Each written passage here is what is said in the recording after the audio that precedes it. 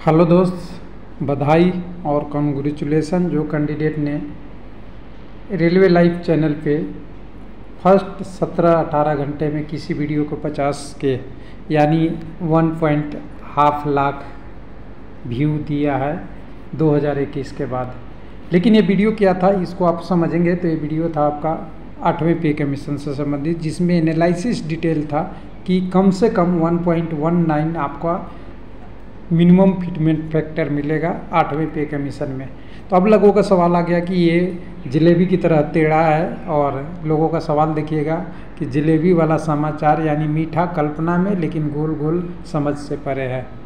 तो ये समझ से परे नहीं है, इसको समझाने की कोशिश हमारा काम है और मेरा भी हमेशा रहा है कि कैंडिडेट का अगर कोई पॉजिटिव कमेंट हो तो उसका जवाब भी पॉजिटिव मिले तो वो समझ में आ जाए कुछ लोगों को।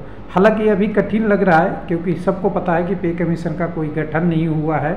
ओल्ड पेंशन के लिए कोई बात नहीं कर रहा है, ले, अग्निवीर का हटाने का बात नहीं कर रहा है। लेकिन इसके पहले आप जाएँगे फ्लैशबैक में फ्लैशबैक में जाएँगे तो दो गवर्नमेंट में अभी दावेदार हैं, जो सरकार बना सकते हैं, वो बीजेपी और इंडिया जो पाँच साल के लिए बहुत कुछ बदलाव आने वाला है।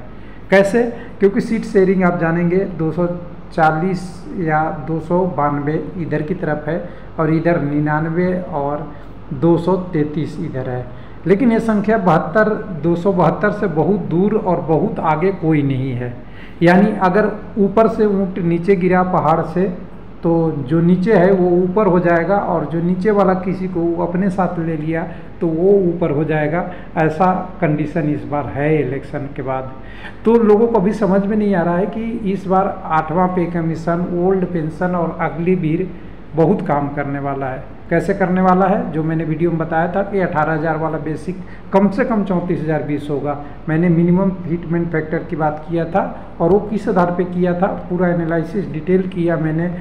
उसके डिटेल के बाद मैंने जो रेलवे, अभी कर्मचारी यूनियन, नेशनल वगैरह से ये सारा डाटा आने लगा, उस डाटा को देखा, उस डाटा में हमने सारी चीज़ें का कंडीशन देखा, कितना महँगाई है, कितना पोस्ट खाली है, कितना डाटा है इलेक्शन कमीशन का आपने रिज़ल्ट देख ही लिया। उसके अलावा भी हमने जो डिटेल में भरा, वो उसको में फोर्थ के फेक कमीशन, फिफ्थ के, कमीशन, सिक्स, सेवन, सबको देखा। सबको देखने के बाद मैंने एक डिसाइड किया था कि 1.89 आएगा। कोई कह रहा है कि 1.89 से कम भी आ सकता है, ज़्यादा भी आ सकता है। तो पॉसिबल है, थोड़ा आसपास में होगा। मेरा कैलकुलेशन ये बता रहा था कि 1.80 से लेके 1.95 के बीच में कहीं ना कहीं आपको फिटमेंट फैक्टर मिलेगा। और ये भी मैंने उस वीडियो में बोला था कि किसी भी पोस्ट जैसे लेवल वन की अभी हम यहाँ बात कर रहे हैं लेवल वन में ज़्यादा हो सकता है तो लेवल टू में कम हो सकता है लेवल थ्री में ज़्यादा हो सकता है, तब फोर में कम हो सकता है। ये अलग अलग पोस्टों के लिए अलग अलग हो सकती है इसमें कोई वो गुंजाइश नहीं है। लेकिन इन कैलकुलेशन को नकारने वाले के लिए कैसे समझाना है तो उसको मैं आपको लेके आता हूँ थोड़ा कहानी पे। कहानी क्या है? ये आप समझिएगा, एक वैल्यूम छपी थी reserve general social science social sciences volume two 2014 में। उसमें इसका हेडिंग खाली देखिएगा हेडिंग खाली देखना है। The youth voter made different for the victory of BJP और अगर ये 2014 में खाली एक चीज़ जोड़ दीजिए, यहाँ पे 10 साल जोड़ दीजिए तो ये होता है 2024 में। और 2024 का अगर ये जर्नलिस्ट पब्लिश होगा तो इसमें हम जो बात करेंगे ना, इसमें अगर हमने ए बात करेंगे तो आगे वाला में बी मिलेगा। ये कैसे? तो देखिए, आपको वीडियो में दिखाते हैं कि 2014 में हुआ क्या था कि जो वोट बढ़ रहे थे, वो यूथ वोट का था। यूथ वोट जिसकी मुद्दा क्या है, समझिएगा, वो मैं वीडियो में आपको दिखाने वाला हूँ। यूथ वोट का मुद्दा है पे कमीशन चाहिए जॉब चाहिए जो जॉब में है, उनको पे कमीशन चाहिए। जो जॉब करके रिटायर चल कर गए हैं, उनको पेंशन चाहिए। हालाँकि उनके फैमिली वाले उसमें इन्वॉल्व होते हैं। यानी अपने पापा का आपका पेंशन आ रहा है तो यूथ का इसमें इंटरफेस होता है। और अग्निवीर को तो चार साल का झुंझुना मिल गया है, उसके लिए तो बहुत बड़ी है। और ये सारा जो मुद्दे हमने जो बात कर रहे हैं ना, ये इंडिया गठबंधन के मुद्दे में डाला हुआ है। ऐसा नहीं है, आप पढ़े नहीं होंगे, हो सकता है आपका विचार कुछ और होगा, आपका मन कहीं और वोट देने का होगा। वो सब कुछ खत्म है। अब इलेक्शन हो चुका है रिज़ल्ट आ चुकी है।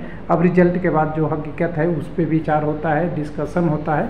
तो आपका एक पे कमीशन आता हुआ दिख रहा है। कैसे? उसी की बात के मैं हमने इस जर्नल के माध्यम से बताने वाला हूँ कि देखिए, जब 2014 में बीजेपी की सरकार बनी थी तो इस जर्नलिस्ट के हिसाब से देखिएगा, पिछले चार साल का डाटा है। मतलब चार इलेक्शन का कहें, पाँच गुना चार, बीस साल का डाटा है।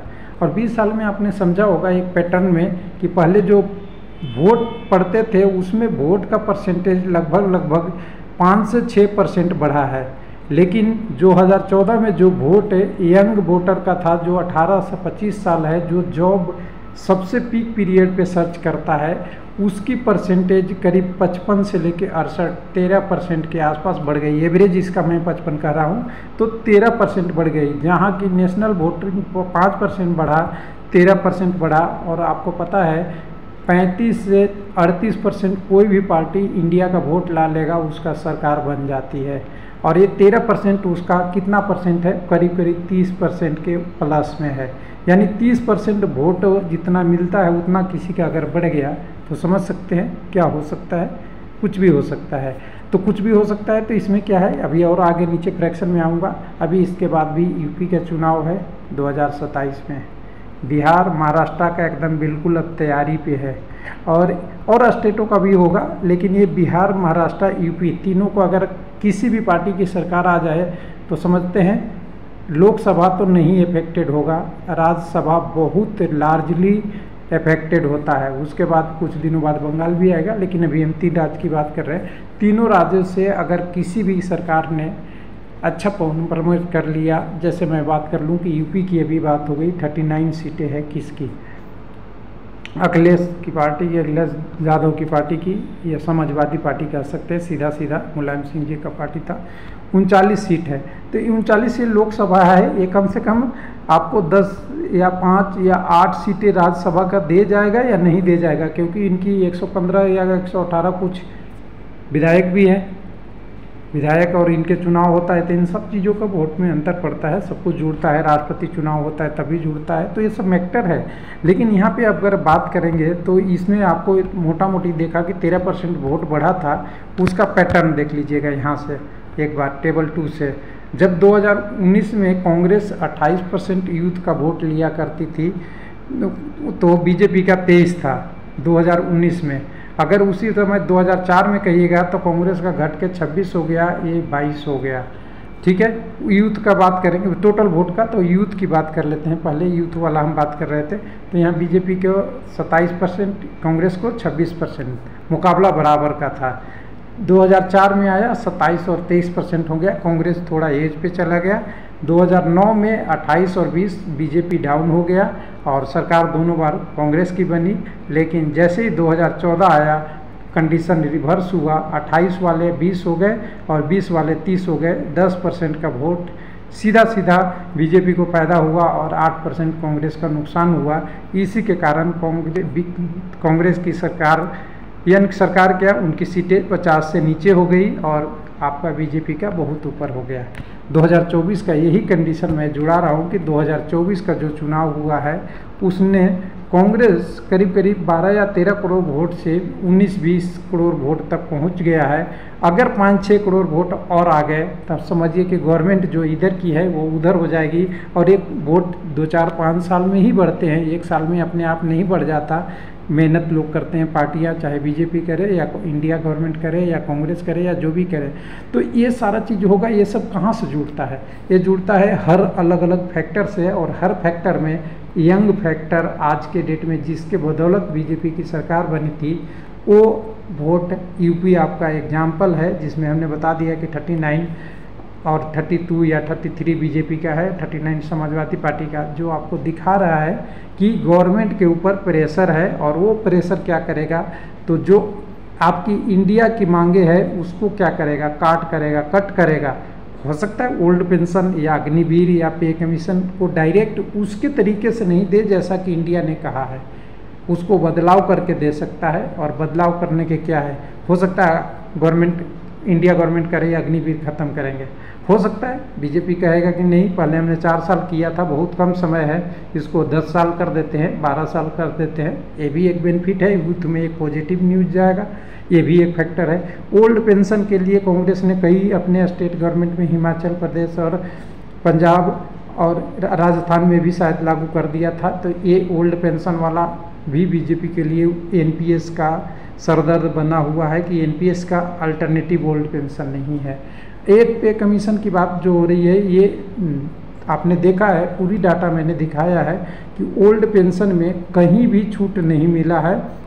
हर बार दो हज़ार उन्नीस सौ से बात करें।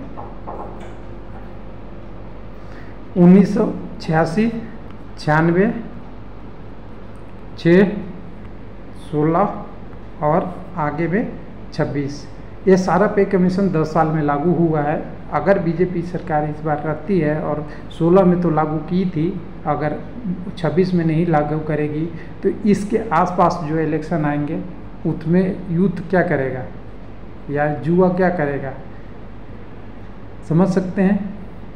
कुछ न कुछ तो करेगा ही।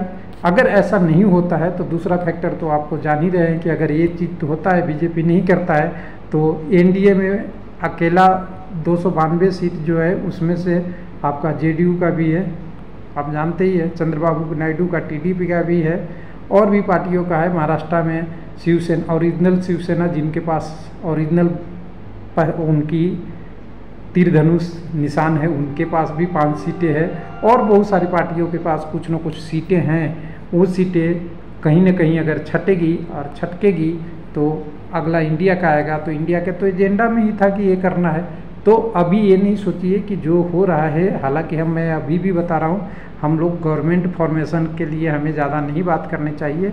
जो जॉब की बात करते हैं, उनको जॉब पे फोकस करना चाहिए, जो विद्यार्थी है, उनको पढ़ने पे फोकस करना चाहिए। लेकिन विद्यार्थी के पढ़ने का जो माहौल में अगर कोई बाधा उत्पन्न आता है तो जो गवर्नमेंट उनको सपोर्ट करेगा, उसको तो सपोर्ट वो करेंगे ही। सिंपल सी बात है। तो उम्मीद है कि जो हमने आपको ये बेसिक बताया था कि अठारह हज़ार वाला चौंतीस बीस होगा एक साल में नहीं तो 2026 तक आते आते कुछ न्यूज़ आएगा ही, और 26 नहीं आएगा तो 27 में अपने आप बहुत बड़ा बदलाव हो जाएगा। देख लीजिएगा, क्योंकि ये यूथ का है। यूथ का दो से पाँच परसेंट वोट बदलना पूरी गवर्नमेंट के बदलने के बराबर है। चाहे गवर्नमेंट कांग्रेस की हो, चाहे इंडिया की हो, चाहे बीजेपी की हो, या किसी का भी हो, हर स्टेट में देखा है, और ये प्रेशर है, इसलिए समझिए कुछ न्यूज़ जल्दी आएगा। थैंक यू, धन्यवाद।